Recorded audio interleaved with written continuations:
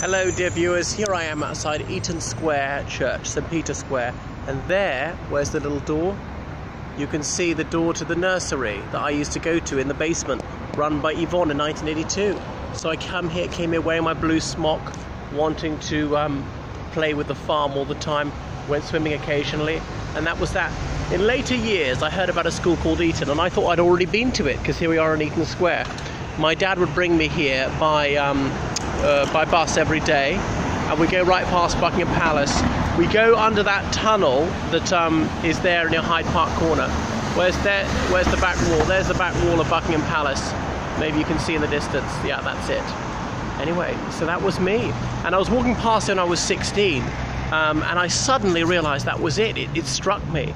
My memory. I remember the place. There we are. Delightful part of Belgravia. What a pucker upbringing I had and there's an annex of the Italian embassy behind, which wasn't there in my day. So that's at the Gordonstoun Carol service is still there, not here in the nursery in the main part of the church. Anyway, I shall switch it off now.